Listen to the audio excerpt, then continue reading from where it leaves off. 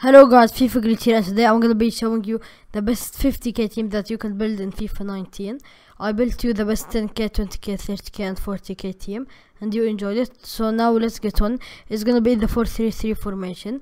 The goalkeeper is going to be Hradecky and of course don't forget to hit the like button below.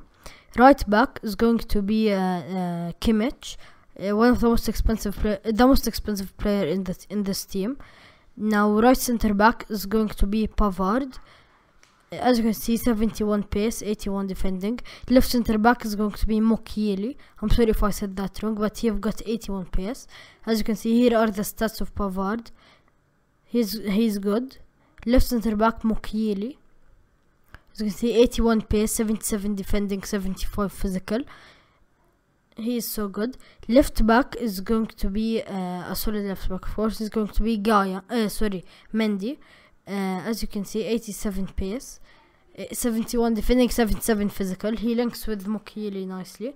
Now the midfield the left center mid is going to be Rabiot the central one Tolisso and the right one is going to be Sami Khedira. As you can see if you want you can go for Emre Can instead of Khedira and like improve another position. You you can have like 10k or 11k more something like that.